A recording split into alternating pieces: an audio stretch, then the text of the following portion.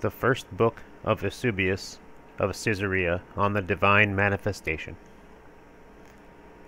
Those who say, on the constitution of the whole of this great and beautiful world, and on the diversified subsistence and manifold structure of the heavens and the earth, that it has neither beginning nor governor, and that there is no Lord, and no providential care existing, but that it has arisen of itself, casually, undesignedly, and by dumb luck, however this may have happened, are altogether impious and godless. The company, too, of the polytheists, on the other hand, set in order against the preceding, seem to me to be in extreme error, that they err as children in intellect, who change the worship of the Maker of the world, the Governor of all, the God who is over all, for that all things which are of him, and hence honor the sun, moon, and the rest of all the parts of the universe, primary elements, the earth, water, air, and fire, with the name due to him who is their maker and creator, and call those gods which never existed, nor had existed, nor had so been named had not the maker of the universe, the Word of God, willed that they should exist. Nor do they appear to me better than those who leave the chief architect to admire the excellency of the workmanship visible in the house of kings, the wrought ceilings and the walls, their many colored and flowered pictures, their roofs variegated with the gold and sculpture of precious stones, and attribute to these the praise and wisdom due to their artificer, which they ought to ascribe not to the things seen, but to him alone who is their chief architect, to confess him to be the cause of their wonder, and of these many works of wisdom. For he alone is wise who supplied the cause, that these many things should thus be. These differ therefore in no respect from mere infants, nor do those whose admiration is expended on the lyre with its seven strings, the mere instrument of music, but not on him who is the inventor of its structure, nor on him who knows its use, nor yet on his wisdom, nor again do those who leave him who is eminent in war to adorn his spear and shields with crowns of victory, nor do those who honor the streets, squares, and buildings, temples, gymnasia, things inanimate, with the admiration due to the great king who caused the erection of such chief city of his kingdom. When it was right, they should admire neither the pillars nor the stones, but the great maker and lawgiver of these instances of wisdom. In conformity with these considerations also, we make this same being the efficient cause of all which we see with the eyes of the body, not the sun, the moon, nor any other of the things in the heavens. It is becoming too that we should confess them all to be the works of wisdom, but not that we should honor or worship them by means of any similitude of him who is their maker and creator. From the contemplation of these two, we both praise and worship with the whole affection of the soul, him, I say, who is the King of all, the Word of God, for no one has ever graced the mere body of any wise and intelligent man, or his eyes, head, hands, or feet, or the rest of his flesh, much less his external clothing, with the title of wisdom, nor yet has termed the vessels in the house, nor the service vessels of the philosophers wise, while every thinking person has expressed his wonder at that concealed and unseen mind which is in man. Thus, and more particularly, before these visible ornaments which are but the bodies of this whole universe, and which have been fabricated from one species of matter, let us express our wonder at that unseen and invisible Word, that is, maker and adorner of all the exemplars of all things, who is the only begotten Word of God, whom the Maker of all, he is who is beyond all, and above all being, generated of himself as a ray of light from his own Godhead, and constituted him both the leader and governor of this whole world. For it was impossible that this perishable being of bodies, and this nature of reasonable creatures, such as it now is, could be brought near to God the governor of all on account of its exceedingly great imperfection, for he is in essence beyond and above all which can neither be described, comprehended, nor approached, and which dwells in the glorious light to which nothing can be compared, as to divine words declare.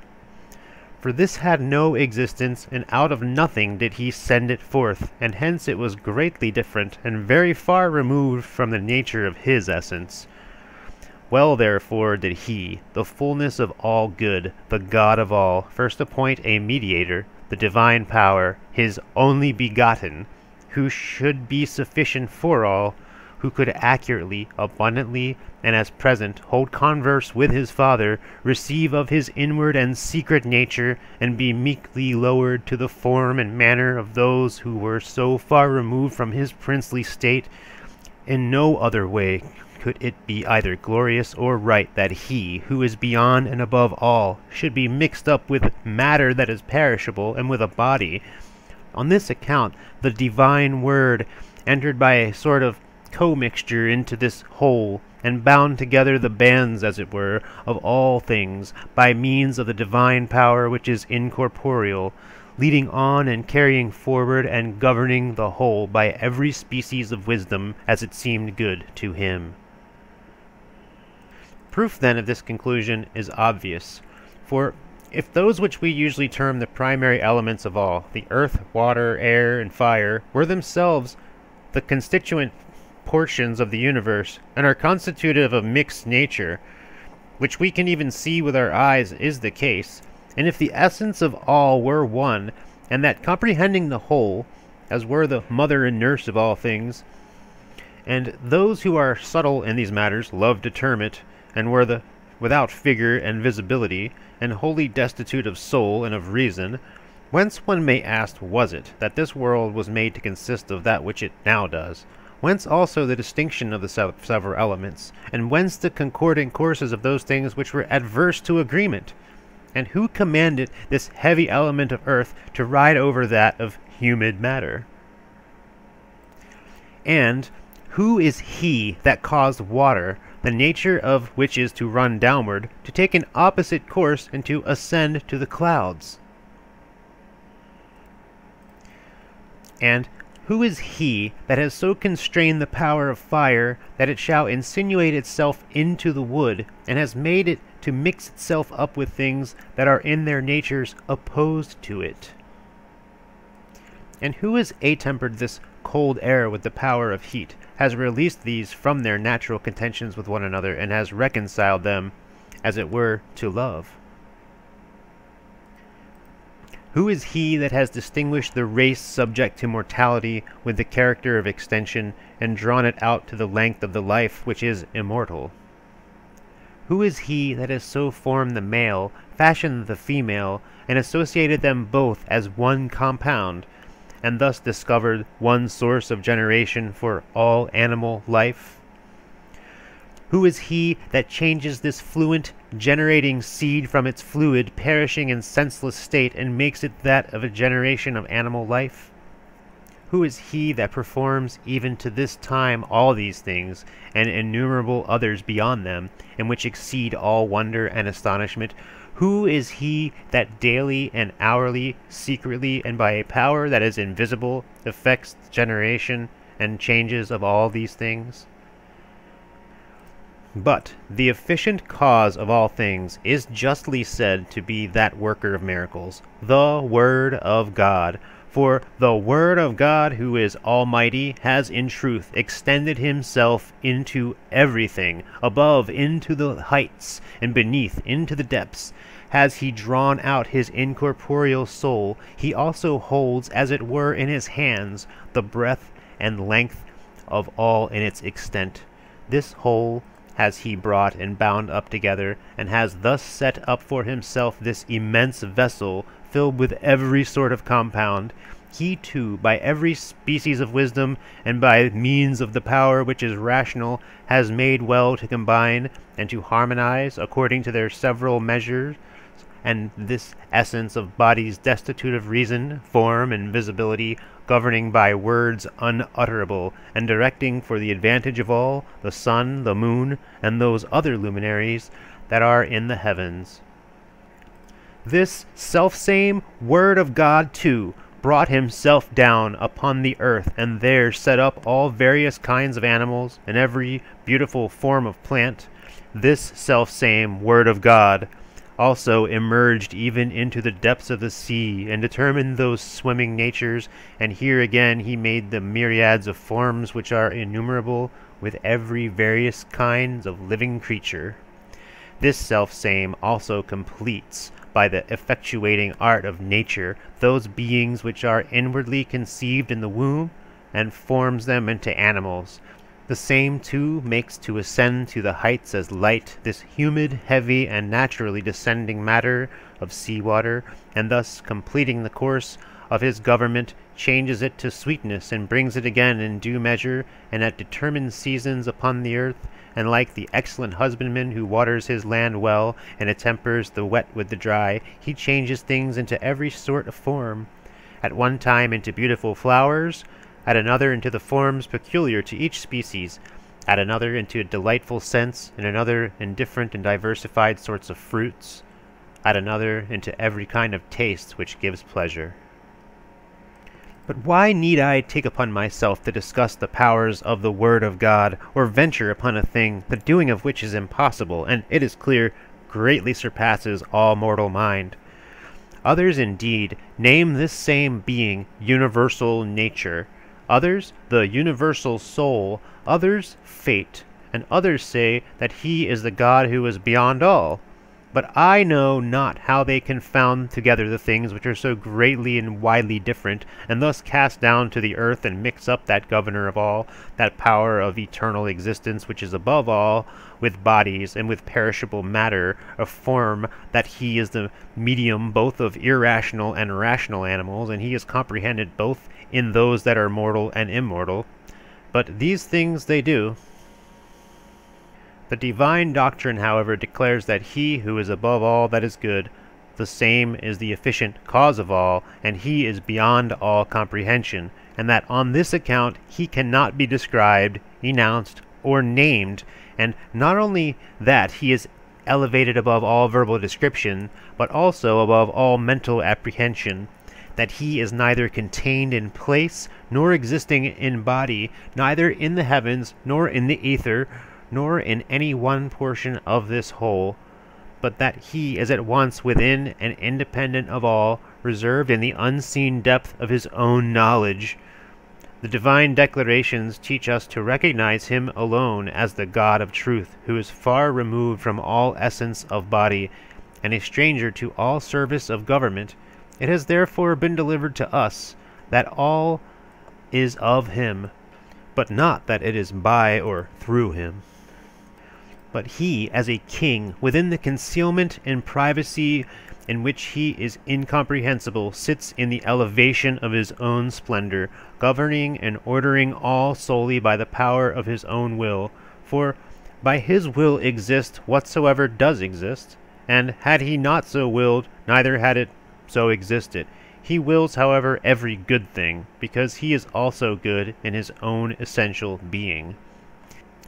He, therefore, by whom are all things, the Word of God proceeded forth from above, from his good Father, as a river ever flowing from an unlimited fountain, and distilling as rain in words unutterable to those who were perishing, completely furnished for the common salvation of all and,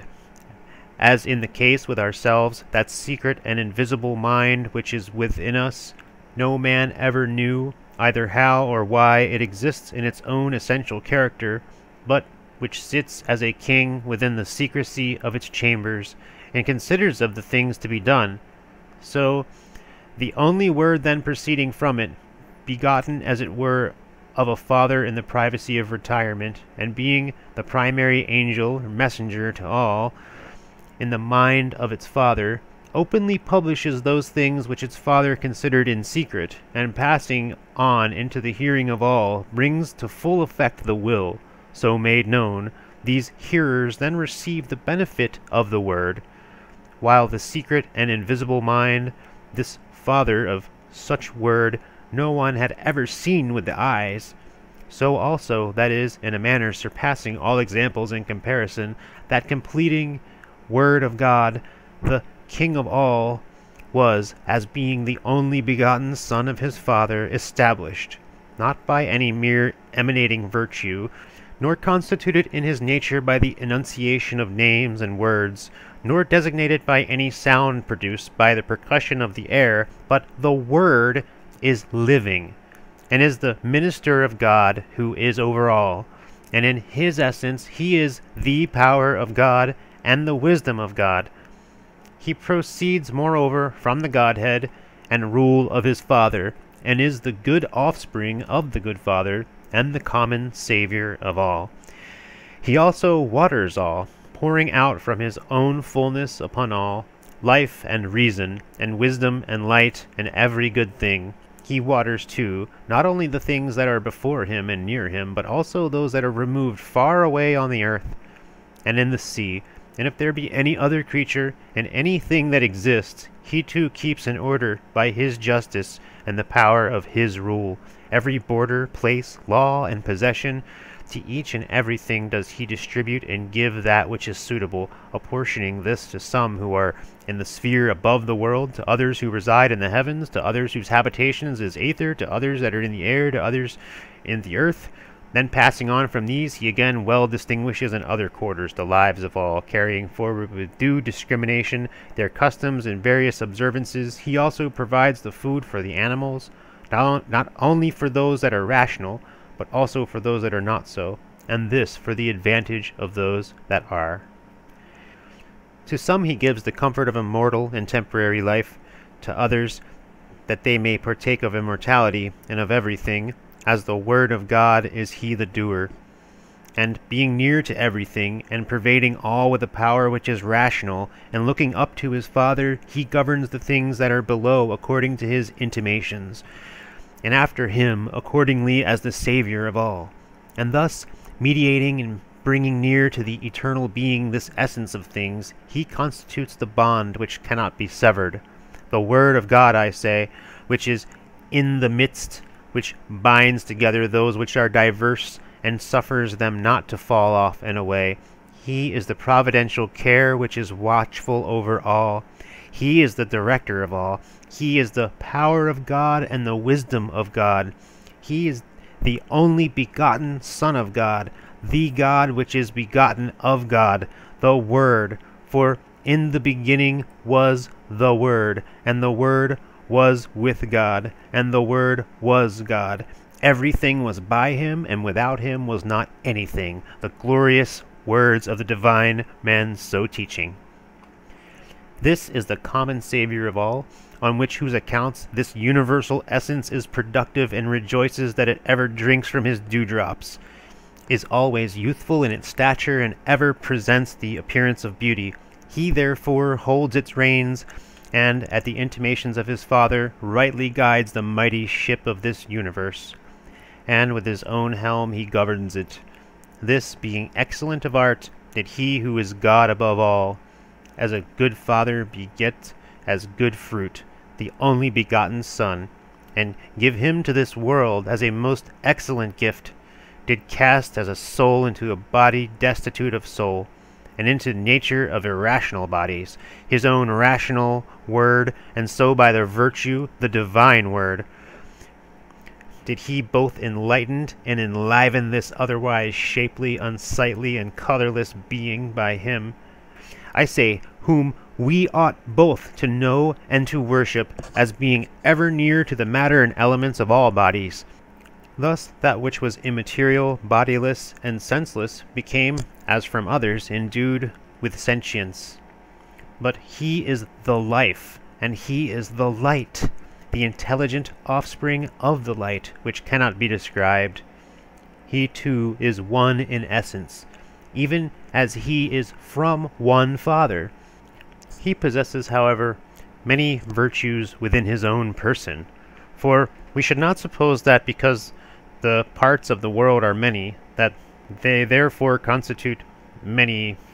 powers, or demons, nor because the operations are many, we ought therefore to set ourselves up many gods.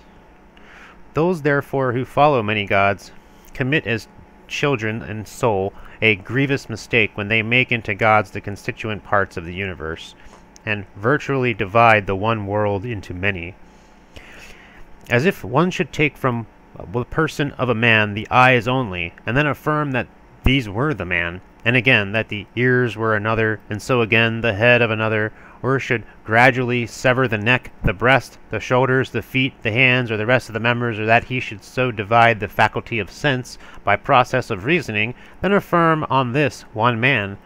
that these portions really were many men, he would deserve nothing better of the wise than the ridicule due to folly. Such as this man would be,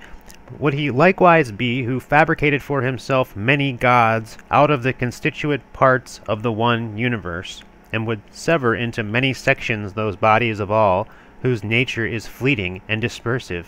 and which are fabricated out of the one primary material, and then again would by an effort of reason make these his gods. Much worse than would it be, who would also imagine that this entirely made world, constituted as it is wholly and altogether of many parts, is God not considering that the divine nature could never subsist of parts, or be complex, or could stand in need of some other to compound it, nor again that if it consisted of parts, could it be divine.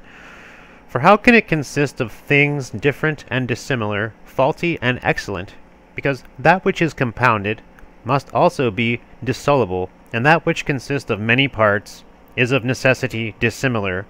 while that which is equal in all and unchanging in all is simple and incomplex. That too which is complex is compounded of things dissimilar, and that which is dissimilar has in itself something faulty, opposed to that which is excellent. For if the whole were excellent, it would then be equal and similar, and if it were so in the whole, it would in the whole be consistent with itself, and thus would it be in essence simple and without parts. But this nature of things does not show itself to be such, since this world is viewed as wholly subject to sense, for it is constituted of many parts, and is therefore compounded, and is too in many of its parts changing, and where it is thus there is also the capability of a nature of an opposite description, and hence this world associates beings at once both mortal and immortal, rational and irrational, in matter too, both cold and hot, wet and dry, from all which God is necessarily free. For if the nature of God be simple, it is also without parts, and is uncompounded, placed beyond and far removed from every ordinance of this visible world. On this account, the preacher of truth thus openly says, the word of God proclaimed, He who is before all is alone the Savior of all rational beings. But God who is beyond all is the head, source of all generation of the Word. He alone is the cause of all, and of his only begotten Word. He is truly styled the Father. Above him, therefore, no other cause can be assigned. He therefore is God alone, and from him proceedeth forth, by virtue of his own secret will, which is unutterable, the only begotten, the Saviour of all, the one Word of God, who is through all. This sensible world is therefore not unlike the lyre of many strings, consisting of many dissimilar portions, of acute and grave, lax and intense, and of all others between these, all well combined together by the art of the musician, such then is also this universe, collected, as it is, into one compound, consisting of many parts and many compositions, of cold at once and warm its opposite, and of matter wet and dry. It is moreover a mighty vessel, and is the work of the God of all. But the divine word has not been constituted of parts, nor has it been compounded of any opposing nature, nor does it consist of either part or compound, but both wisely and well does he in everything resemble his Father, and to the King of all does he give back the praise which to him is both suitable and due. And as in one body there are many parts, members, viscera, and bowels collected together, and one invisible soul only is diffused through all, and one is the mind which consists of neither body nor parts, so also we say of this one world which is constituted of many parts, so also the Word of God, manifold in power and almighty, is one extended into all things, and is invisibly diffused throughout them, and of all in which he thus subsists, he is the efficient cause. Do you not see with your eyes that one heaven surrounds the whole world, and that many orders of stars revolve in this? And again, there is one sun, not many, and that this eclipses the splendor of them all by its superior light. So likewise is there one Father, the Word of whom also is one, who must be the good offspring of the good Father. If therefore anyone complain that there are not many sons, so should he also complain that many suns, moons, and worlds are not established, and at many other things after the manner of madmen who endeavor to subvert those of nature which are right and good. But as in things visible, one sun gives light to the whole sensible world, so also in things intellectual, the one Word of God, filled with all power, secretly and in a manner imperceptible to us, gives light to all. For why should many suns be required when one is sufficient to effect everything? And again, what need can there be of many sons of God when the one, the only begotten, is sufficient to effect the will of his Father? For if there were many, then would they be either similar or dissimilar? And if they were similar, then would their multiplicity be in vain because one effectuator, and in this Almighty, would be sufficient for the performance and due ordering of all? But the Word of God and the wisdom of God, which is one in its essence, brings along with it the light and the life, and indeed all the fullness of goodness. The multitude then of those who were thus vainly and not well joined together in a power that were similar could have no advantage. But if it were necessary that they should be dissimilar, then how could that which were dissimilar, incomplete, and defective in its nature be on the other hand an effectuator, and that sufficient for all? But nothing which is born of God is incomplete. The only begotten of God is therefore complete, the efficient nor are there many words of God. On the contrary, the God who is of God is sufficient for all, and is almighty, and is the one image of the light of his essence. As the divine words declare, who, for the convenience of governing and healing all existing beings, was necessarily appointed, who is also in his essence one, but in his powers manifold, and him alone do we declare to be sufficient for the adorning of all things. Because, too,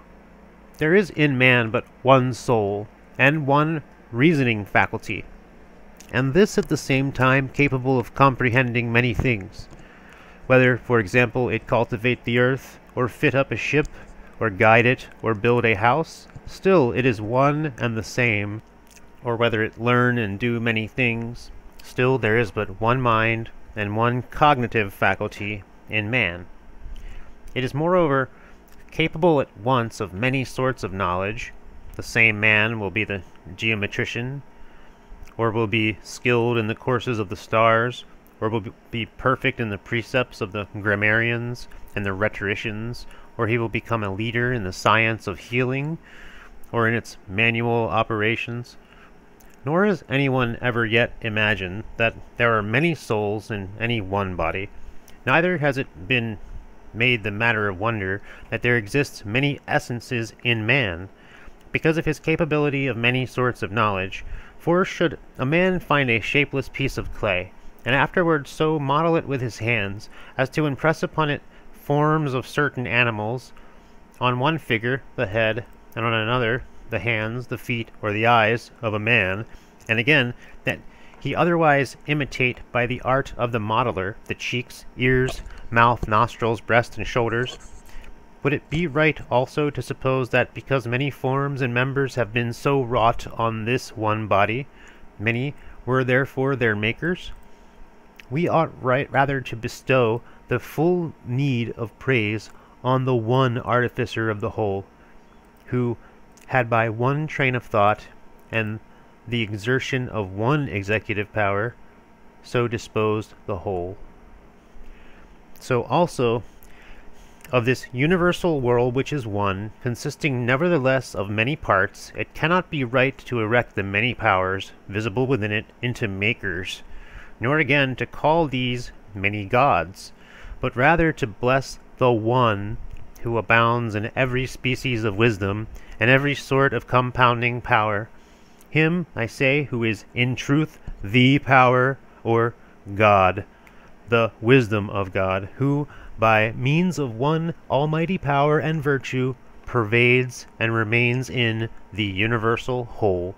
who also gives establishment and life to all, and who, for the whole and singular of these bodies and elements, in the several situations produced at once from himself the several and various means of subsistence. So also the light of the sun is one, Yet, by its one incidence, it at once illuminates the air, affords light to the eyes, warmth to the touch, ripens the produce of the earth, gives growth to the plant, and fixes the several periods of time, it also precedes the stars in its course, makes the circuit of the heavens, rises upon the world, and greatly establishes the power of God with respect to all things. All these things it completes in a momentary period of nature. Thus, too, the nature of fire is such as to purify gold, to melt lead, to dissolve wax, to dry wet clay, and to consume dense bodies. By means of one burning power, it effects all these things. So likewise, the Word of God, the King of all, he who is extended throughout all, is in and pervades all, that is, both in the heavens and the earth. He is the governor of the things which are invisible and visible, and he directs by powers unspeakable the suns, the heavens, and the whole universe. He is present to all things in his effectuating power, he, and he remains throughout all. He also makes to distill as rain from his own resources the never failing light to the sun, the moon, and the stars. He has established and perpetually holds fast the heavens as an image of his own greatness. He also fills from the treasury that is with him those hosts of angels and powers of intelligent and rational spirits, at once with life, light, wisdom, and all the abundance of every species of beauty and of goodness. And by one and the same effectuating art, he never fails to supply sustenance to the material elements, and to bodies their commixture and concurrence, their forms, appearances, and characters, and otherwise varies also, and time after time, his innumerable operations, whether in the animals, the plants, or in the beings rational or irrational, at once he provides everything for all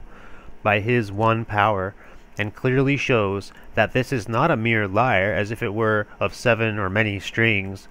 but is the one universe of manifold composition, the workmanship of the one Word, the Maker of the world.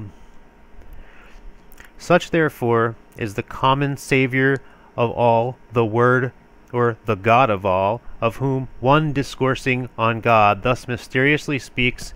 He was in the world, and the world was made by him, and the world knew him not. For from ancient times and hitherto it knew him not, until he manifested himself in the latter times to those who were holden in the darkness of vice. But he, the Maker of the whole world, he who is the common Saviour of all, has been directly made known to us, and thus existing and as affording to this whole all this assistance. But as to this whole world which is governed by one ruler, and which consists of the heavens, the earth, and of the things therein, and is now necessarily we should show in a few words what the nature of the being is which he has assigned to it. This universe, then, partakes of two natures, of the essence which is more excellent, and is allied to the divine word, which, being intellectual and rational, is perceived by the mind and apprehended by the reason, and to this is possible all that is superior to material bodies, it partakes also of that which was necessarily brought forth for the use of this, which is matter, is the offspring of bodies, which is understood by the sense of reason both to exist and to be perishable, and which, as I think, has been well said never to have had any independent being. But this which is visible to the bodily sense designates the one universe. This same, too, the whole of which is visible, as well as that which is invisible, may thus be well said to constitute one family of rational beings. Just as in the things that are visible, the nature of bodies is one, while of this some are in the heavens and the ether, those among these being distinct and different, some in the air and on the earth, and of which the things visible are the animals and plants, so also in the essence which is intelligent and invisible. The common kind of them all is one. One also is the nature of the generation of the rational and intelligent faculties, while many and various are the distinctions existing in this. The same, therefore, which has been fabricated out of matter and material bodies, this, which we usually name the sensible world, which consists of the heavens, the earth, and of the things therein, may be likened to an imperial city, in which are many citizens, the houses of some of which have been distinguished as apartments of the state. Of these, the inner ones are neither entered into nor trodden by the many. Some again are for stations without, set apart for keepers in the middle portions. Others, again, are far distant from the court, and are left for the inhabitants generally, and their various assemblies. Many are thus the stations in the heavens, and many are those inferior to these in the ether, and in the air above the earth. The habitable part of the earth, assigned to those who walk upon it, is this broad space known to us all, those places, however, which are beyond the heavens, are exalted above all mental apprehension, as are those also which are distinguished as inner apartments of the divine house of rule. But those beings who surround the King of all, and exalt at the side of the divine word, are both enlightened and upholden by means of the rays which are drawn forth from him, as from unfailing fountains of light, and are established in the fullness of light, Thus, too, all the enlightened, with the incorporeal assemblies of light, hold that rank of station which is beyond the heavens, and honor with the highest praises, and which are worthy of God, the God who is King of all. In the midst, moreover, he has cast and spread forth the vast heavens, the curtains, as it were, of the azure threshold, which exclude those who are without from the mansion of rule, while the keepers of the intermediate part perform their rounds in this, as being without the gate, with those who are in the heavens, are invested with light, and holding lamps as the sun and the moon, honoring him who is beyond all, the King of all. And at his intimation and word, these supply light by means of lamps which cannot be extinguished, to those whose lot it is to be in the place of darkness and without the heavens, Thus are brought near to him the powers of the air, which are invisible to bodily eyes, and also the animals and other earthly things which are visible. So is man also the chief of them all, whose race was no stranger to that intelligent and rational essence which is invisible, and who was created on the earth to render praise to the Godhead, and rule of him who is the cause of all things, like as on earth, therefore, there is spread over the whole world but one, and that the same human nature. And as many nations have arisen out of this, and the manner of life of every race, its fashions, modes, and governments are different, not only of the barbarians and wild, but also of the peaceable, fashionable, and wise, and as there are among these both slaves and freemen, poor and rich, those also who differ in color, as the Scythians, and those whose lot it is to dwell without. In the west, the Hindus also at the rising of the sun, and the Ethiopians at its setting, Greeks too, and others whose destiny it is to reside among princes, and among all these again some bear rule over portions of the nations, and others are wholly subject. With the great king of all, moreover, some are considered as in the place of friends, some are elevated to the greatest honors, others are more especially ennobled for their virtuous deeds. Some again fill their ranks of slaves, and others bearing spears and shields surrounding the sovereign. Others again are military officers in the cities, while others fill the station of rule in these. Others too have met the fate of the vulgar, and others are considered as in the place of enemies and haters. Still, the whole of these are men, and one is the common species of them all. Over them all, too, is there one king, one only power, vested with his own authority, which is all supreme, and to this same, according to the law and edict of the state, to him alone, the Father and Lawgiver, is the title of Great King ascribed, while he, the Word, descending from above, and running, as it were, throughout the whole of the governors and the governed subjects to the one yoke of rule, every race placed under his hand, elevating some to the highest honor, and to others rendering that which is their due. As it is with these things, so one is the generating, intelligent, and rational essence which is over all, and well might it be said that one is the kind or genus of these things, and that they are all nothing more than brethren derived from one, as made of him who is the Father of the Word of God. There are then multitudes of nations and of kinds of these, and there is a portion the more virtuous and the contrary, the differences too of these, as to mind and opinion, are innumerable, as are the fashions and modes of life and constitutions and the contrary, but not as to their natures, for the nature of them all is one, and the kind, or genus, is one. It is of the variety of their wills that they have found out many and different fashions and modes of life. Hence are the companies of angels, of spirits, and of incorporeal and invisible powers,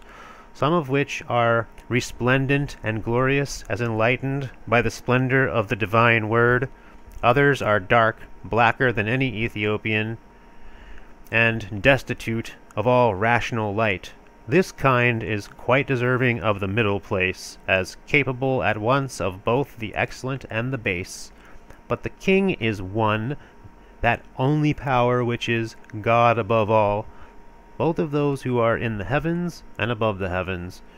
And he it is who holds by the law and edict of sovereign rule the things that are in the air, on the earth, and under the earth, and which are uh, of all and in all. This law and edict is moreover one. He who lives in all, the Word of God, the minister, or agent, not as that dying utterance which is set forth from the mouth of mortals into the air, but as it has now been made known to us by the gospel of things in their nature possible, the governor of all, in all wisdom and power. He, I say, who, as the word of God distributes fully and in justice to all the things which are most suitable to them, and gives to each and to every one of them the stations which are suitable, to those which are near, those of happiness, but those of the contrary, to those who have fallen from virtue, as they may have severely deserved. He at once gives to all, like those who are on the earth, to reside in different localities, to some to exalt at the side of the heavenly sovereignties, to others to keep watch without, to others to dwell beyond these, and at a distance, while all with one mouth and according to the doctrine and instructions of each celebrate the praise of the King and God of all, and I say, who bear this law in their hearts and in the mind of their nature,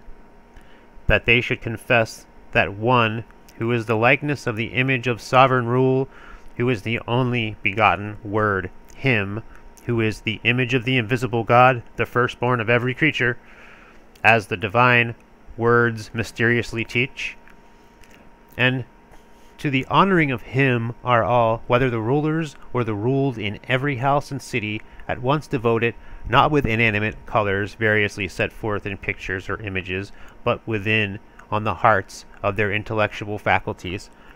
as upon intelligent tablets is the worship of his Godhead inscribed. Thus do all those who are subject to his power tender their worship irrespective of those vicious demons and wicked spirits and rulers of this world who consider themselves as in the situation of enemies and haters, those who have assimilated themselves to the image of fraudulent rule, and put forth various books in the place of others, that is, innumerable false scriptures ascribed to that fearful name, to that expressed name which governs the law but far superior to the law is the name which they have surreptitiously assumed to themselves. Thus do they succeed in casting down to the earth among bodies, elements, and the portions of the world the whole race of mortal men. Hence have men feared and served the creatures more than the Creator of these. And again, they named as gods for themselves these very powers, contenders and rebels against God, which in their perverseness so became gods. These I say which never existed as such,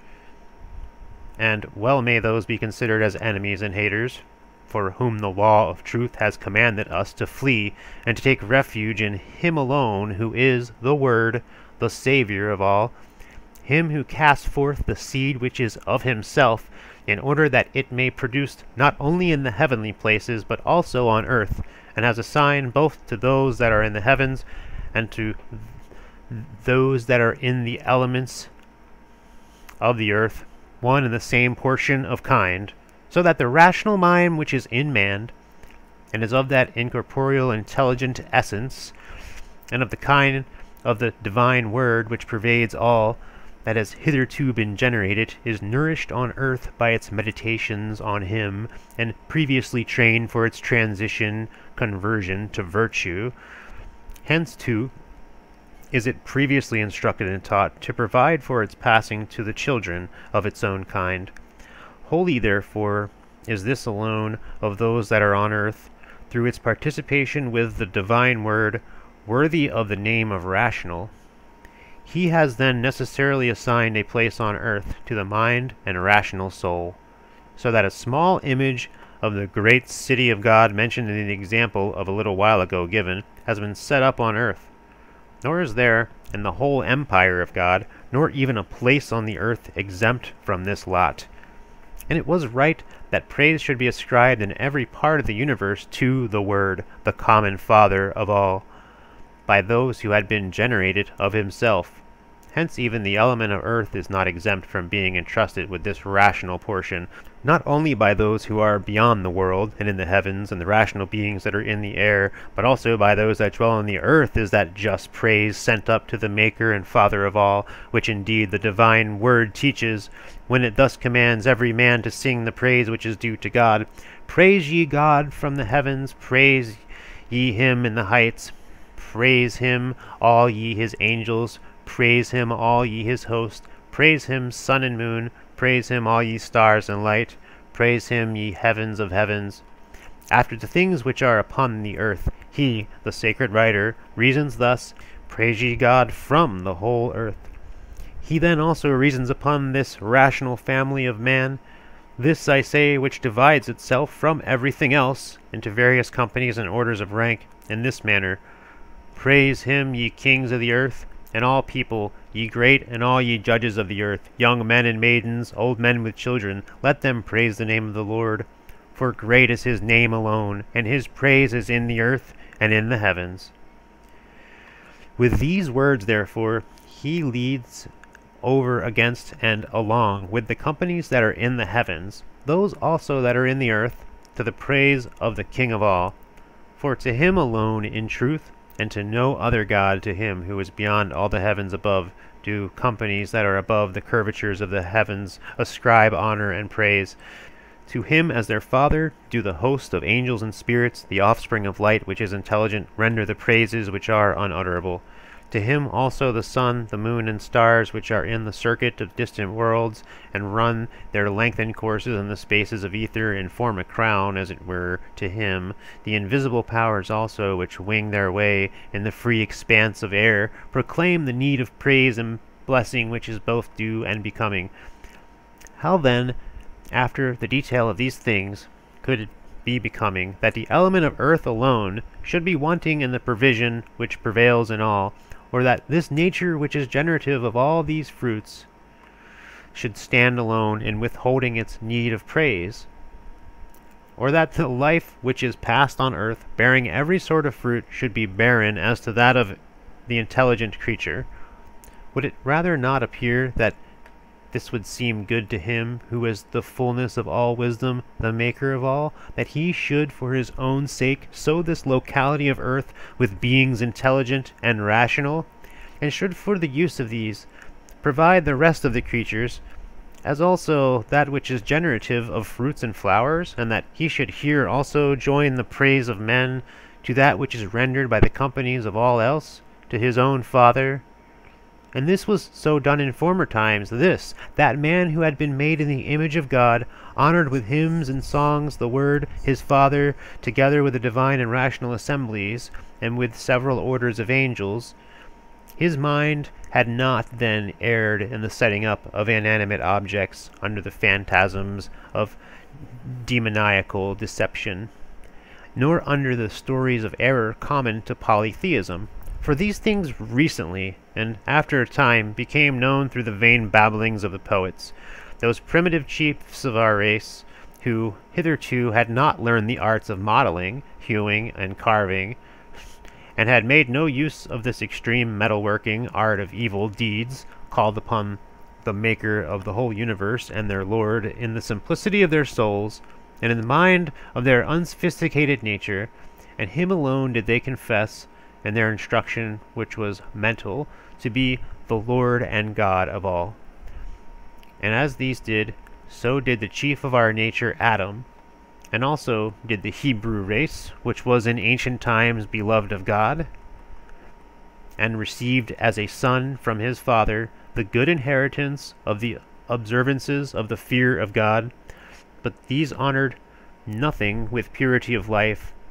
and with the observances of the fear of God except the one God, the King who is above all, and his Word who is the Saviour of all. On this account they were considered worthy of the revelation of the Word of God, of prophecy, and of the doctrines of righteousness. Thus, therefore, the Word of God, the Maker of all things, fills with his seed of intelligent and rational being all parts and places that are above the world, that are in the heavens, and on this element of earth. That seed, then, which falls upon the earth, constituting the intelligent and rational plant,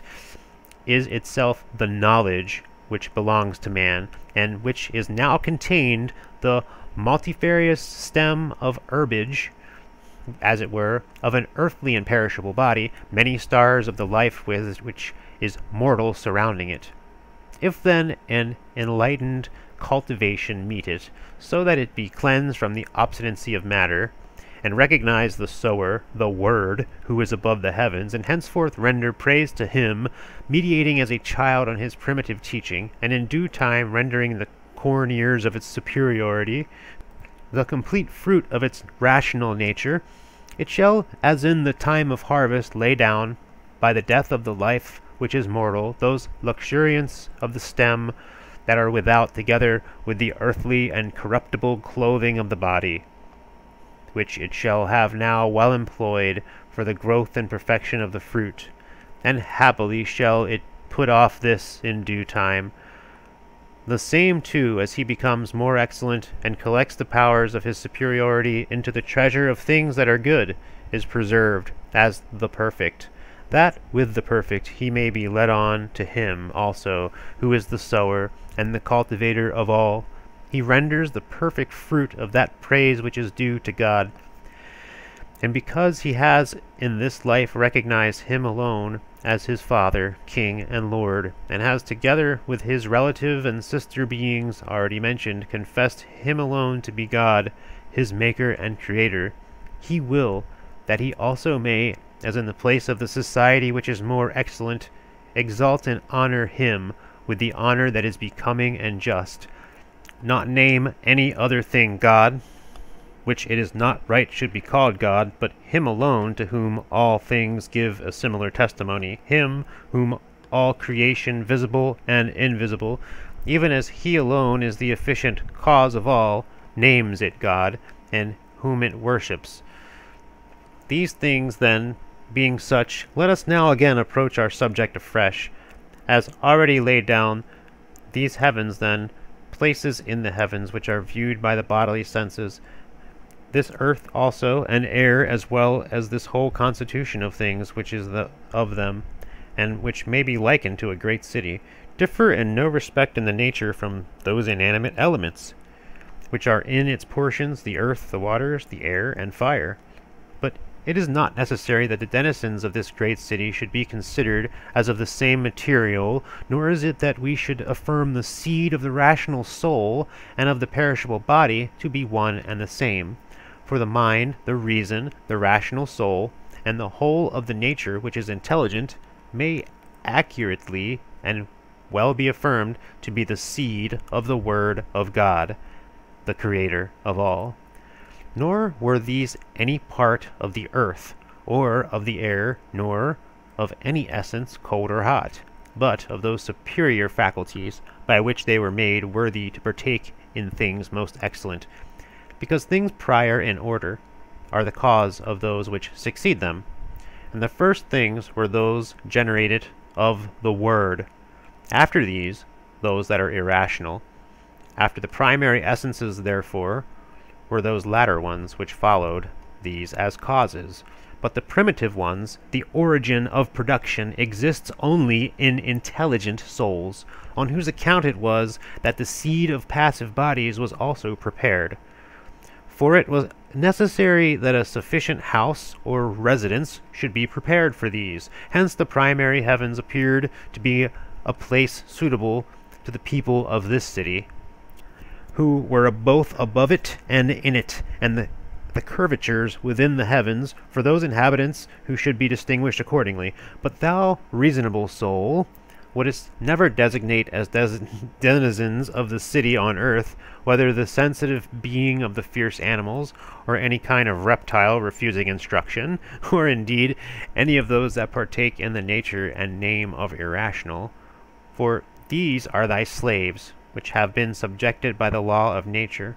and they necessarily render the service which is due to rational beings, as to their lords. For the agricultural ox places his neck willingly in the yoke, for the purposes of agriculture for man. The carrying ass, too, confesses his own nature. The horse also, which his lord rides, exalts, and the hunting dog fondles on him who feeds him.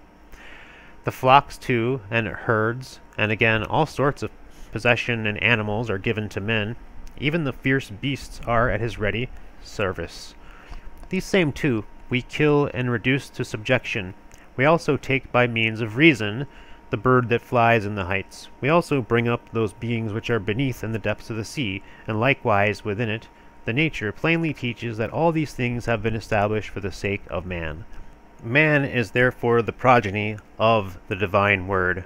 not for the sake of any other thing, but that only of his Father, the Word, in order that he might see, and by his knowledge distinguish, all the wisdom of his Father, which consists in the workmanship visible throughout all creation, and that he should assimilate himself to this same, while hitherto youthful, and should in everything emulate his Father as to law, reason, knowledge, and wisdom, and should live as taught,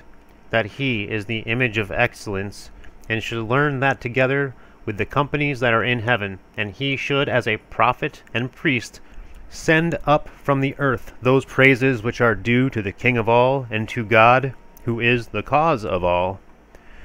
In representations not unlike these, therefore, does the Word, the instructor of all nature, wondering at the various excellencies of the nature which is in man, cry out and say in the divine praises, What is man that thou art mindful of him, and the Son of man that thou visiteth him? Thou hast made him a little less than the angels, with honor and glory hast thou clothed him, and hast given him dominion over the works of thy hands, and hast placed all beneath his feet, all flocks and herds, and wild beasts of the desert, and the birds that are in the heavens, and the fishes in the sea, which dwell in the paths of the sea. It is this rational species alone, beloved of God, of those that are on the earth, respecting which another prophet speaking of God teaches, thus plainly but mysteriously, that in his essence he is in the image of God. And God said, Let us make man in our image, according to our likeness, and let them have dominion over the fishes that are in the sea, and over the fowl of the heavens, and over the beasts, and over all the earth, and over every creeping thing that creepeth upon the earth. And to that word he also added the deed, So God made man, and said that he made him in the image of God. And again, more particularly, he established the fact that the image was in the likeness of God from the divine inbreathing, when he said, And he breathed into his nostrils the breath of life, and the man became a living soul. He also teaches that he gave to him the more excellent authority and rule in these words when saying, Let them have dominion over all that is on the earth, over the beasts, the fowls, the creeping thing, and the animals. And to all these words does that nature give its testimony, which has put everything under his hand and has subjected all things to this rational creature. But if the divine words can obtain no hearing with thee, still I cannot think that thy mind is so entirely darkened that thou canst not think within thyself how it is that bodies and bodily substances, or whatever other divine thing it is which moves the body, should consist of this possible excellence. This I say that such bodies should know how to avail itself of a discriminating reason, as to what its own essence is. This that it should deliver instruction by memory, this that it should extend itself to the contemplation of all things. But be thyself and ask whether the nature of the body can understand the constitution of the world the operations of the primary elements, the beginning, the end, the middle portion, enumeration and succession of the seasons, the changes of times, the revolutions of the years, the appointed order of the stars, and I know not how many other things which men have by the experiments of geometry, computation, and enumeration pointed out. For these results are incorporeal, and the contemplation of them is purely rational, that anyone should make them adjuncts of the bones, the flesh, and the blood, would be would folly infinitely great, and well might they be asked, who thus think of these things, since these five senses comprehend all the faculties of the body, which of them is it that can teach man the contemplation of any doctrine?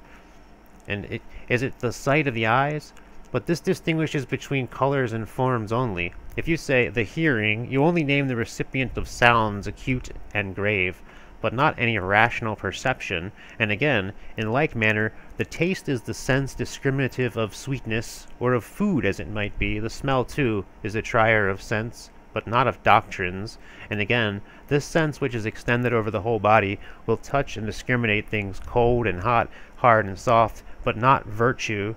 not yet that wisdom which is much more excellent. And how is it that within the irrational animals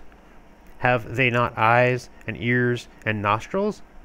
the, the sense of taste and of touch? But neither of these can be brought near to the efficiency of reason, because the doctrines which philosophy alone can apprehend are not of the body, nor of the sense that is irrational. They belong solely to that superiority which attends the rational soul, which is superior to the nature of the body, and which takes up its abode in mankind alone. If, however, anyone wished impudently to persist by way of reasoning and affirm that we possess nothing beyond these irrational animals, that like these we are born and are subject to corruption because the one provision of us all is of the earth, the passive nature of the body is the same. The sense is in nothing superior. The labor again and rest is, in the same manner, one, as is the blood of us all, the corruption of the body, and its dissolution into the primitive elements. Hitherto, however, you do not say that any one of these can, like the rational animal, be brought near to the contemplation of things incorporeal, can bear about it in any rational instruction or lay up learning in its memory, can consider discourses about virtue and vice, and as to philosophy, that it ever even entered its mind. But all these things I might omit, because all men do not possess them. I only ask your reason these things. Was there a city ever yet constructed by beings destitute of reasons?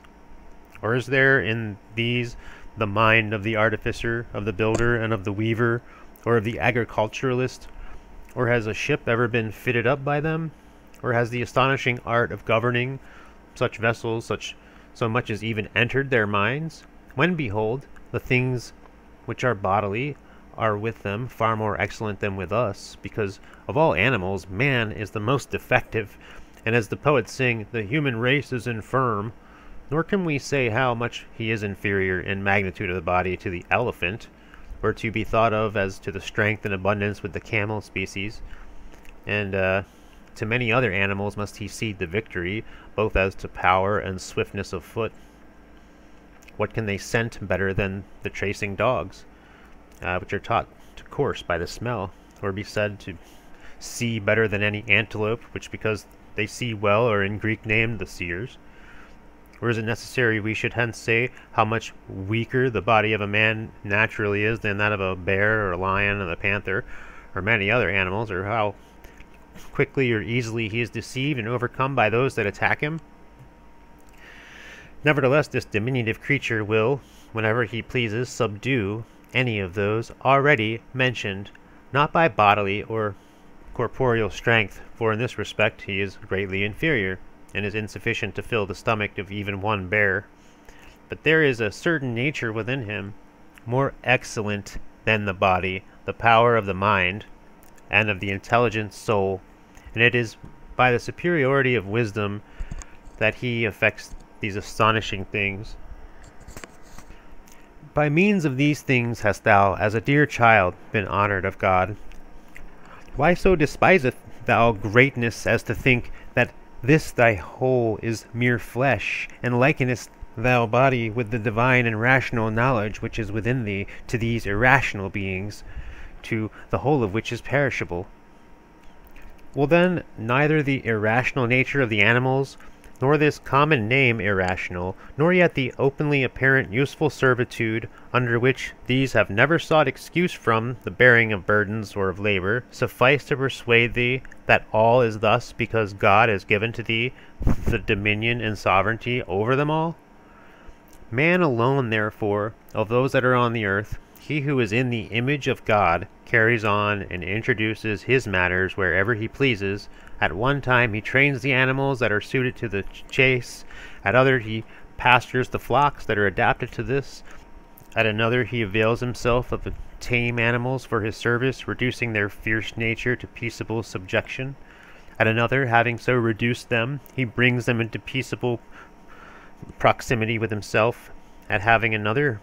brought them together by the multifarious means of reason, he confines them to the house. And not this alone, but he will also take into his hands the injurious reptiles and play with them, and of those that breathe out death and reject instruction will he make his sport. Man alone, of those that are on the earth, is not to be persuaded to take up his residence in the caves that are in the deserts or in the heights. He accordingly builds cities with walls and adorns these with streets, palaces, mansions, and other edifices. Man alone, of all those that are on earth, considers not his provisions after the unchangeable manner and usages of irrational animals, for these, destitute as they are of knowledge, avail themselves of the aid of nature alone, and receive their provision from the stem, unprepared by agriculture and uncleansed from the weed. He, however, by his knowledge, cleanses this. Thus too does he pulverize, fully season, and make it well to pass the fire.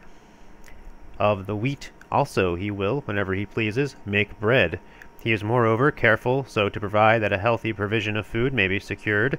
and every profitable commodity, either of the vine, the olive, or of the fruit tree of every flavor does he appropriate, and these does he alone apply to the sanative uses of the body.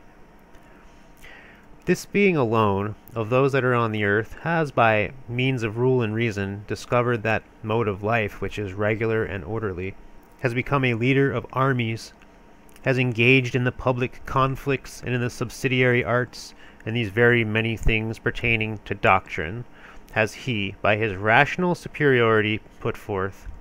This being alone of those that are on earth, preserving in himself the model of excellence, has determined the measure, the weights, the extents, and several sorts of justice. He too distinguishes governing all by reason, the things which should and should not be done, and hence he knows how to give to every one as it shall be right. The fishes, however, the birds, and the animals will devour one another, because no law prevails among them,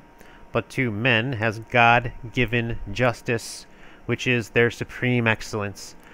As says one of the poets, and according to my opinion extremely well,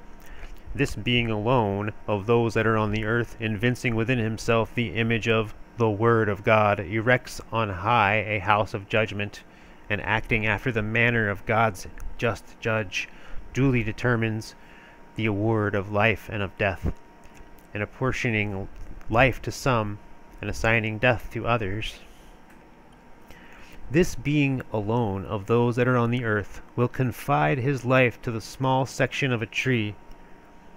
He has also discovered the science of shipbuilding. He too will guide the ship on the back of the sea, will commit his person to the depths of the humid element, and beat back the death that stands at his side. He alone looks up to the heavens, and to that governor of all who binds together all distances as to the safety of those who navigate the seas. Man alone of those that are on the earth has discovered the doctrines of astronomy, has, while moving below in the body and clothed with the weight of mortality, ascended up in his mind on high, and making the circuit of the sun, the moon, and the stars, foretells what shall come to pass, as he also does the eclipses of the moon, and vicissitudes of the seasons, and the changes of times. Man alone of those that are on the earth is viewed as the assistant of nature, has discovered the means of healing, and has by his understanding applied to this the powers of roots and drugs with their combinations and mixtures by weight and due proportion. He too has become skilful in the healing of infirm bodies and the helps of life of man. This being alone of those that are on the earth, not having arrived at the manner of life of the graminivores and animals, or has well applied himself to the requirements of his own nature. In the winter season he accordingly cast the seed into the earth, and applyingly the sweat of his labor to agriculture is repaid in the autumn with his, the fruits consequent upon his toil. This being alone of those that are on the earth collects together by his rational knowledge the doctrines relating to all things, the science and composition of music, as well as that of investigation by discussion. He also proceeds on the manner of life, and to the fame attendant on philosophy, and is thus he hastens forward the love of that superiority which is vested within him, availing himself not of the bodily sense, but of the faculty of knowledge, and of the stimulating power of reason. Man alone of those that are on the earth bears about him by means of his memory the histories of things done in former times, converses with those who are now no more, as with those who are at hand, examines the opinions of the wise who have existed at any period, and from these, rather than from those who are his contemporaries, does he receive profit, and thus by the faculty of reason, cognate with that of thought, does he exist with those who have long ceased to be. This being alone of those that are on earth duly regulates the voice of the chant by the divisions of the chord. He also has divided the primary letters of the alphabet by the grammatical art, and has discovered the powers and province of reason. He too has determined the combination of verbs and of nouns, and well as the precepts of rhetoric and grammar. All these, moreover, does he bring together preserve in his memory, and bring forward as stores filled with every sort of treasure. In one mind, too, does he comprehend both the events and histories of former times. These will he bring forth whenever he pleases, as a river from an unfailing source, and inundate therewith the hearing of all present. Man alone of those that are on the earth is in his works like unto God, who is over all, Anything which he pleases will he form into animals, even this inanimate matter will he change into the form, figure, and fashion of every sort of creature by means of this instructive nature. And the reasoning faculty will he set about emulating, even the maker of all things. And man will make man at one time in stone, and another in wood, and another in flowers and many colors, and well as in the forms that are impervious to change, and indeed every sort of animal and of plant will he by the same means imitate, showing forth fully by his works the power vested within him of the image of God. This being alone of those who are on the earth will imitate on the earth whereon he walks the celestial sphere, and will engrave on the matter of brass the likeness of the very heavens, and on this will he impress a copy of the stars, both wandering and fixed. He will also appoint by the modeller's art the limits both of times and of seasons, and will surround the exterior of his sphere with the images of various animals. By the abundance of his knowledge, moreover, and by means of many observations, will he imitate the heavenly sphere, and, like God, will allow the heavens whose revolutions are above the earth and with the universal whole, and whose revolving is an unceasing miracle, to revolve with these things that are on earth, in the similitude which is of earthly material. The angel of the seasons, too, will shout, as it were with a loud voice, and all at once in a moment who are in motion, the doors too, at the coming of in of the seasons, throw themselves open, as it were, of their own accord, and the inanimate images of the birds, placed round about it, the sphere, speak out in chirpings. The moon also which is on the earth runs its course with that in the heavens, and the mere brass of itself changes its fashions after the manner of the moon, showing itself now dichotomized, now on the wane, and now in its full light. Thus the images of the seasons follow the analogy of those in nature, and the human-made world contends with that of the workmanship of the Word of God. Man alone of those that are on the earth can by means of words to not be uttered, of prayers acceptable to God, and by virtue of the fear of God, evinced both in word and life, drive far away the invisible nature of concealed demons. But further, when he had even departed from the right way, he could effect all this by a power such as would by songs and incantations subject the kind of these which flies in the air and again would seize by means of force, and the appendices restrictive of nature, those unembodied powers which fly over any part of the earth just as they would the flying sparrows, he would lead on or bind these whenever he chose, and sitting up the images of fabricated gods, would show these by his doings that his own power was far superior to that of fabricated deity of such. Man alone shows of what kind of superiority of his intellectual and incorporeal being is and establishes the fact that his power is impervious either to subjugation or deterioration by calamity, for he will prepare his body for the fire, the sword, the fierce beasts, and the depths of the sea, and he will approach every species of torment. He knows, too, that his nature, that it is perishable, and fleeting, transient, dissoluble, that which resides within and is unyielding, and that this is different from that which perishes. He proved who cried out, Bruise, bruise the form, but me thou wilt not bruise and again proclaiming with freedom of speech, Burn or roast the body, and be satisfied with me when thou hast drunk my blackened blood. But before the stars descend to the earth, and the earth ascends to the heavens, I will present to thee not one conciliating, perturbed expression. One of the friends of God, moreover, when suffering evils, put forth these words what shall separate me from the love of God? Shall tribulation, or distress, or persecution, or hunger, or nakedness, or cold, or the sword? I myself, too, have seen in these times some whose eyes were digged out,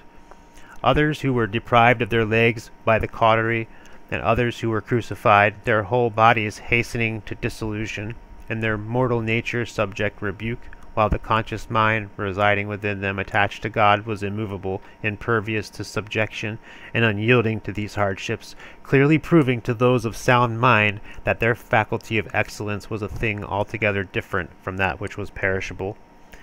This alone of the animals that are on the earth partaking of the divine inbreathing is worthy of the favor of the deity. He too will hold converse with the angels of God, and will apprehend the foreknowledge of things to come to pass. At one time, by means of dreams, at another, when so invested by the power of God with the Spirit that he will even announce the prophecy of things future, and by manifestation of deeds such as these, he will confirm the fact of his fellowship with deity. This animal alone recognizes in everything something greater and more excellent than any that is visible. Him who is invisible to the eyes and imperceptible to the touch, as well as to every faculty of bodily sense, but is visible to the mind and understanding alone, him does he, by his special teaching and the learning of which his nature is capable, confess, and him does he call God. To him also does he render praise, and shows by means of his knowledge, his relationship with the deity. This being alone has risen to be the spectator of the great works of the Word of God, and is fitted to worship his Father, him, I say, who is higher than the heavens, with the praises which are proper for the deity, and to be assimilated to the company of the angels in heaven, because to him alone of the animals that are on the earth has this superiority been assigned. By means of this he recognizes, from the mind of his nature, him who is the cause of every good, and is enjoined to render, as to return due to a father, the praises of thanksgiving and blessing which are becoming. The testimony of all these things does that word of the doctrine and erudition which is divine confirm, that is, of his undying nature, and equal of the citizens that are in heaven, is this being alone of those who are on the earth. This intelligent and rational essence, I say, which is in man, and that he is the dear child of the divine word, the common Saviour of all, and that in his nature he agrees both as to image and form with this his Father. For if this rational animal, who has become partaker in all this superiority, this which alone of those that are on the earth is in the image of God, this brother of the divine hosts and of the angels which are in heaven, had been duly led by his nature, and had from ancient time adhered to the divine law, he would indeed have been freed from this earthly and corruptible mode of life, and would have continued in his conversation on earth, as in a state of migration.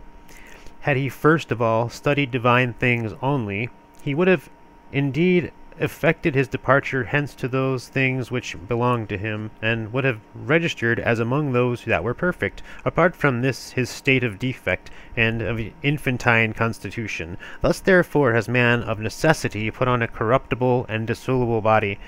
and in this though the mercy of his Father that calamity may not be his permanent lot, and that he may not be tied interminably to corruption. Soon, therefore, shall this corruptible be dissolved, and shall receive a participation with those who are incorruptible. For just as that which is conceived in the womb puts on the clothing of its locality, and an infant to be born, when the period of its destined months has arrived, casts this off, and accordingly comes forth into the light, inhales the purer air, and henceforward is considered as of the nature of man, so also is this perfectible species, as believed to be among men, as also opposed to the still superior one, a mere infant,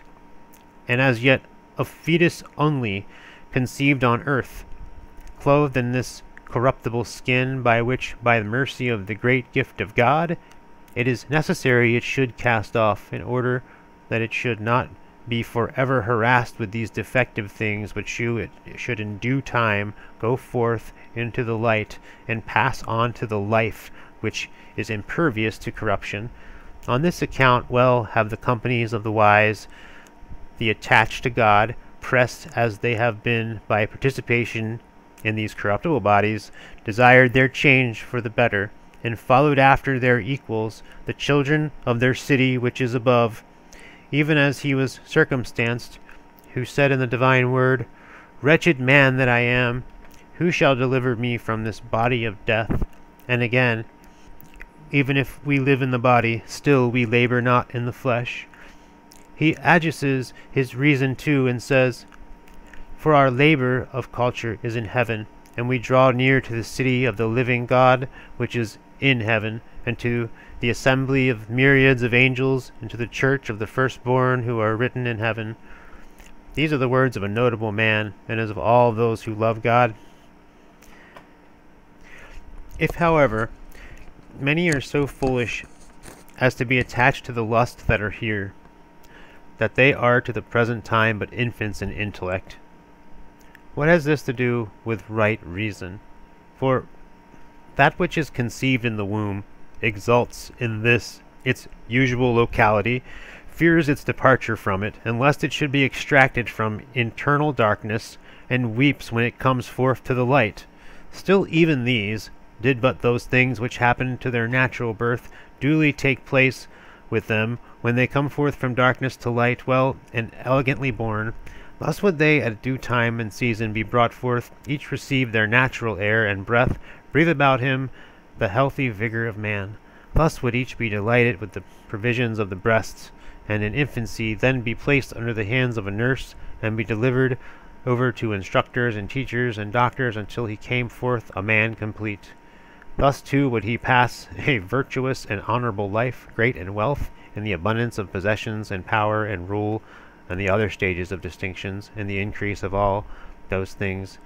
which result from a happy birth, of those which multiply by means of instructions, and of those other innumerable things which conduce to the experience of a happy life.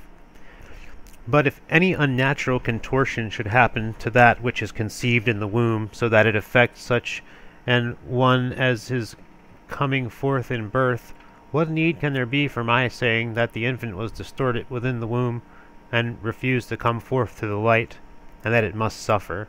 by the iron instruments prepared for parturition, which shall violently and painfully be placed upon it, the revulsion which is also unnatural, nor would it be worthy even of the one birth, even of the life of man, or of the things belonging to this, but on the contrary, that it should go forth from darkness to darkness, and not only be deprived of the life of man, but also of the name.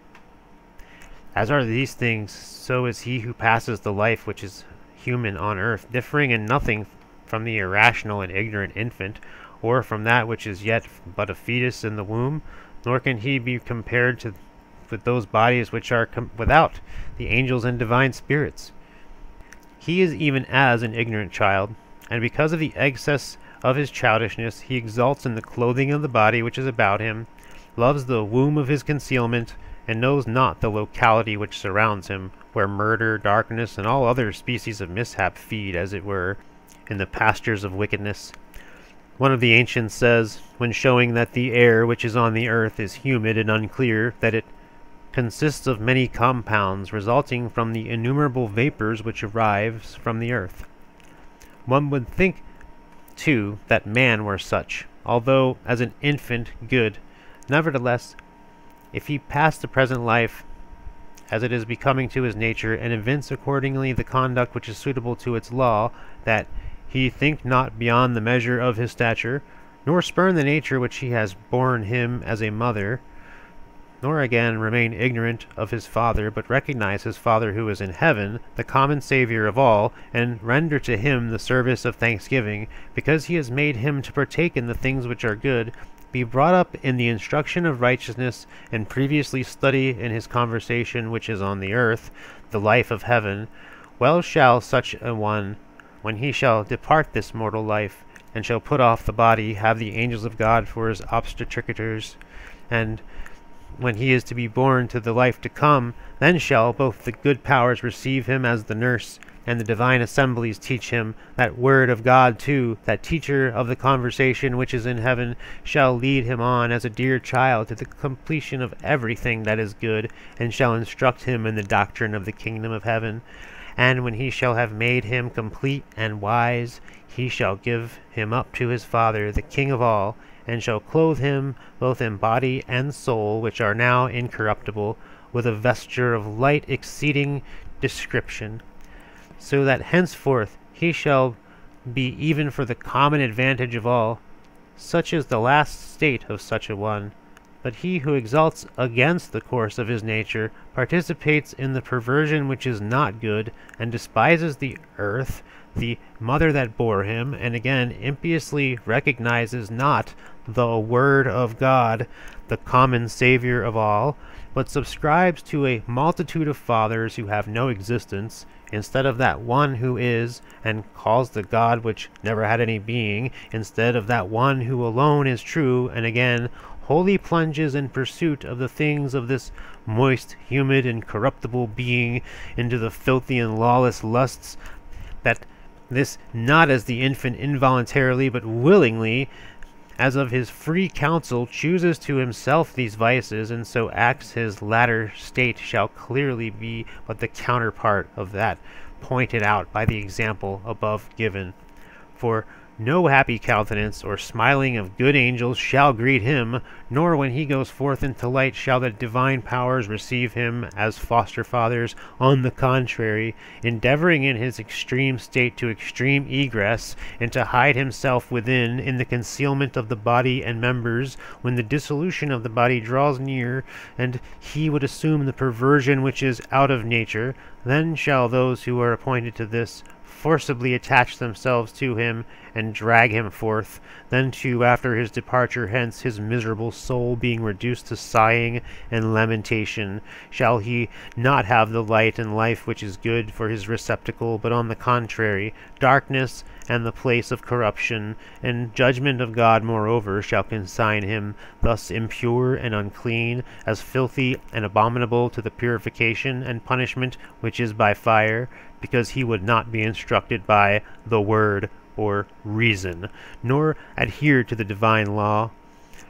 when it was in his power to do so. He, therefore, who, in the example above, was as an infant conceived in the womb,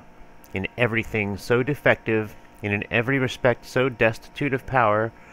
that hitherto he could make no use either of the thoughts of his soul or the senses of his body, that mind indeed which is hitherto but as an infant in man, may well be said, by way, as it were, of experimental comparison with those incorporeal and divine rational beings that are in heaven, to be altogether a child, even if such were the wisest of men, or even more perfect than those that are on earth, still he would, when compared in himself with his future perfect state, be nothing better than an infant. For what his state of excellence shall be when he arrives at manhood, it will be easy thus to show. For if, when hitherto as an infant, and confined within this unyielding wall of earthly and corruptible being, he bears about him such a faculty of excellence that he knows not only the things that are on earth, and fabricates them by art, but also anticipates the life which is in heaven, and becomes like to God himself, makes too, whenever he pleases, likenesses of things in the heavens and of those on the earth, can do all these things, just as those which have already been recounted. These, I say, when immersed, as he is, in all this refuse of the body and blood, what then ought we suppose he will do, when he shall have proceeded to the perfect measure of man's estate, and shall have been liberated from these injurious bounds of corruption, these humid and wasting properties of the body, and is made a partaker of the life which is incorruptible, and of a body which is impervious to death. For if this seed alone of all the reasoning faculty be thus all able and powerful on earth, when as yet it was capable of rendering the full return of fruit, but has even been cast forth into the moist locality of the refuse of a corruptible body, it shall henceforth be able fully to know of what sort the return of perfect fruit of this seed shall be as sown in the soul, when it shall have been made to partake of an adequate culture, and shall have been removed hence, and have been planted in a superior locality, in land good and fertile, where that heavenly word, that sower of all things and planter of every good thing shall receive back his own seed, and shall, in the pastures of incorporeal and unembodied souls, as in the paradise of them who love God himself, water his own plant, shall nourish it to perfection, and make it arrive at the increase of goods innumerable. You will perceive, therefore, the greatness of the complete state of man's superiority from his changes and increments here, if you will consider that the infant just born is in no respect superior to the worm, that it cannot, after the manner of the irrational animal, even make use of the bodily senses. Nevertheless, this defective, lame, infirm, and thoughtless being will, when grown in his stature, arrive at all this change and variation in the course of time, will receive all this superiority, power, and beauty, both of body and soul, so that should those who begat him to see him, they could not distinguish whether this were he who was sown by them in the womb, and conceived in darkness, whether this were he who came forth out of this darkness to be brought up with milk and the swaddling bands, this who is now the man, who in wisdom and knowledge contemplates the whole world, this who subjugates everything that is on earth, and should any one by comparison, as it were, of the divine faculty, and of the angels, and of the child just now born, place the complete man in the midst, he would not find a perfect equality as to the child with respect to the perfect man, and of the perfect man, with respect to the superior power, but the inferiority of the person of the child to, to the man to be much greater than is the inferiority of the man to the faculty of the angels. For the human infant lately born cannot be compared in its being even with those irrational animals which may just now be brought forth. But he who has come out the perfect man is and is contemplated as the friend of God will henceforward become a partaker in the divine spirit, and will hold converse with the angels, will arrive at a love and attachment to the conversation which is in heaven, and will previously prepare himself by purity of life and the fear of God, not placed at any great distance of limit, for an equality with the angels, and will be made a partaker both of their life and superiority, which the divine word also showed when it said, What is the man that thou art mindful of him, and of the Son of Man that thou visiteth him? Thou hast made him a little lower than the angels, with honor and glory hast thou crowned him. Is man that thou art mindful of him? and the Son of Man that thou visitest him. Thou hast made him a little lower than the angels, with honor and glory thou hast crowned him. If then the child, when brought up to the full stature of his nature, and supplied with the provision and instruction proper for it, receives all this change and variety, and no one can disbelieve this his change on account of the openness of the experiment, why need we wonder if even this perfectible mind which is in man such as it is when still in childhood with respect to its more complete and perfect growth, should, when it comes forth to full growth of its stature, be in dignity as the angels? We do see, however, that the nature of man undergoes dissolution by death. But what of this? Is it not that we are the more convinced by it that the soul is immortal? For if when immersed in a corruptible and mortal body it evinced all this force of superiority, which we have already shown, how shall it not, when it shall have separated itself from its participation in corruption, and shall have laid down immortality as a bandage, then act in its own power, in a manner less impeded than it does now? Do you not perceive that so long as it entertains an attachment to the body, it thence acts basely? But if it refuse participation with the body, it then subsists within itself, and thence is its essence clearly known to the incorporeal. For how can that which is opposed to the body be of its nature? The thoughts, too, of the soul are healthy, so long as the bodily passions are infirm, but the same will be dark and obscure when the body labors under the lusts. Hence, so long as the soul is infatuated, its whole attachment will be to the body, and when attached to the body, it will be shorn of its excellence. When, however, it becomes strong in opposition to the body, and flies from that lustful passions, it then becomes wise, and when it has become wise, it turns away its face from, from a participation in mortality, and forthwith gives up itself to the knowledge which is pure, and in a small degree withdraws itself from the stimulating nature of the body. When, moreover, it is powerful with respect to the riches which are its own, it then happily becomes more abundantly enlightened, directed, and stirred up. Then, too, will it partake in knowledge, wisdom, and every sort of excellence when it has ceased to countenance the motions of the bodily passions. And so long as it counts upon this excellence, it deigns not to draw near with the eyes of the body, nor will it act by any other of its senses, when moreover it thus vigorously shuts itself up, carries itself within, and withdraws to a distance from the things which affect the senses, and are visible,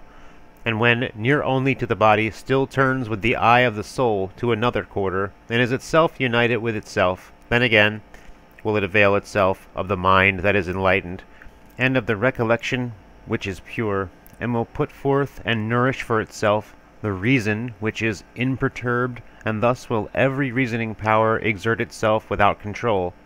But should any of the things which are hurtful suddenly happen to the body, so that a mote should injure the sight of the eyes, immediately would the sight of the soul be disturbed, and should remissness be given to the body, and the soul partake in the drunkenness, gluttony, lust, and the rest of its pleasures, thus reduced in itself to vice, the corruptible body too domineering over it like a wild and fierce beast, and itself remaining below, as it were, in the depths, will be filled with error, folly, and every sort of infatuation. What necessity then is there that we should fear death, which is only the determination of the freedom of the soul from the body? And for what purpose is the lying down of that which is faulty? Is it not for receiving the aid of that which is more excellent? And that we should confess the lives of those who loved God, than to be in truth holy and happy, when nothing of an adverse nature shall control them? If then, while this rational nature continues in this locality, and resides in this vessel, as it were, on the earth, clothed with a dense and earthly body, not unlike some earthen vessel, and wholly compressed within this its vesture,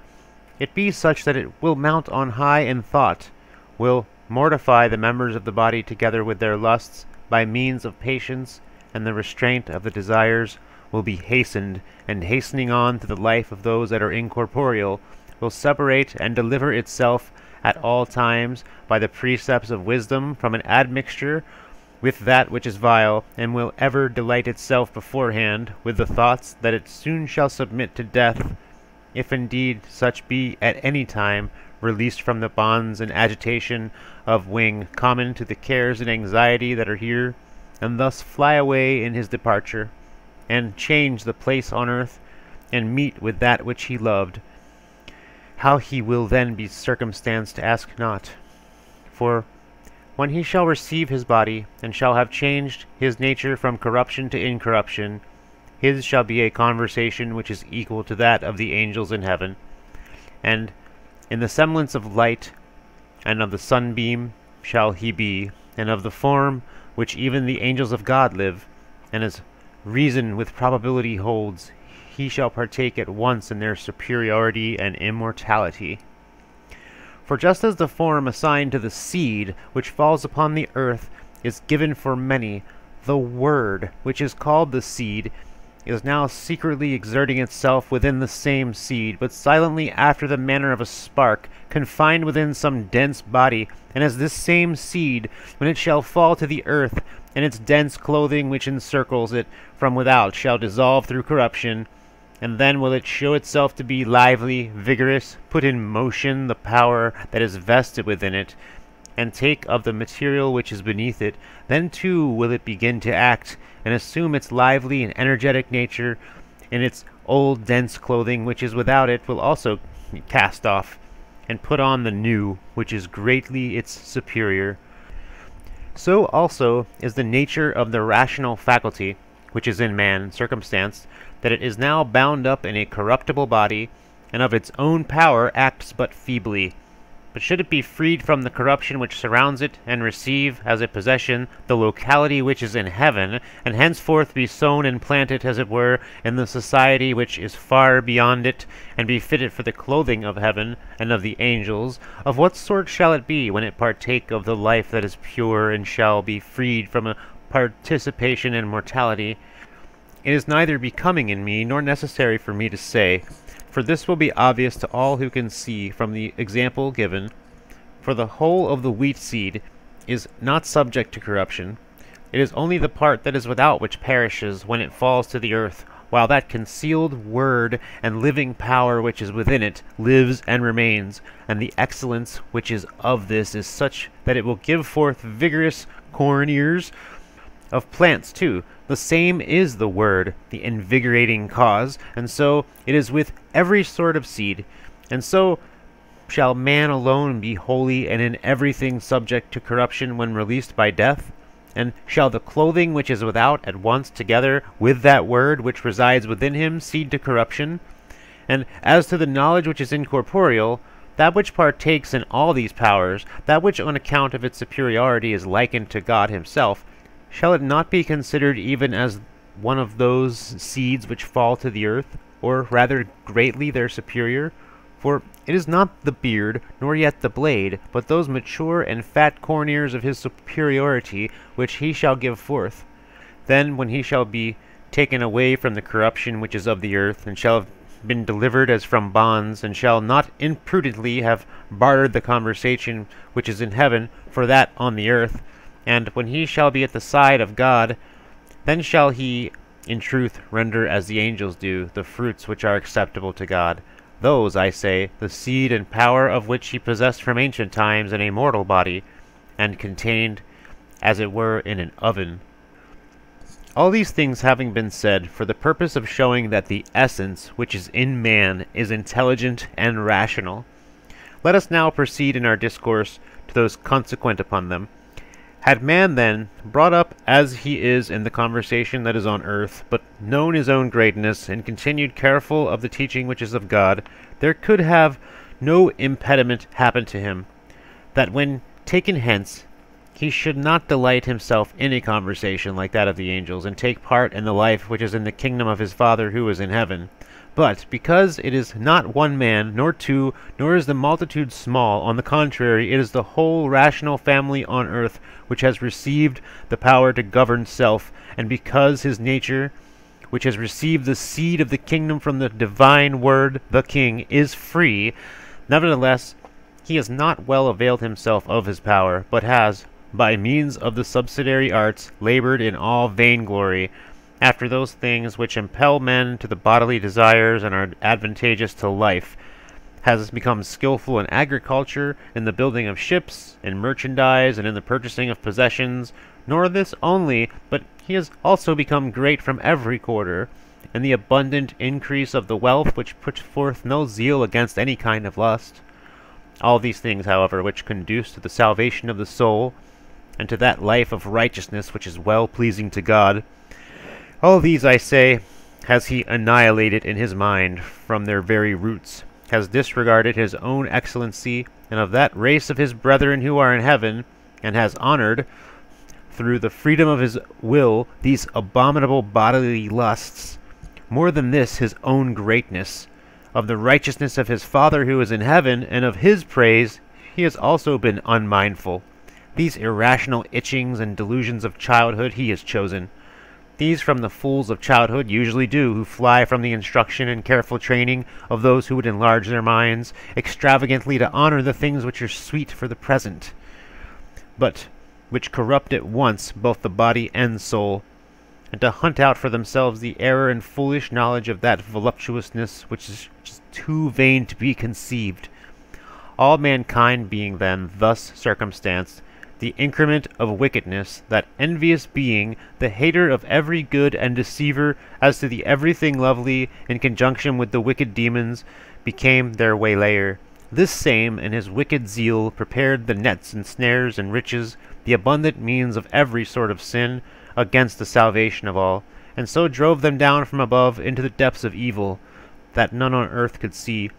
but transgressed the law of their nature, and thus the germ of wickedness, instead of the seed of excellence, sprung up within them.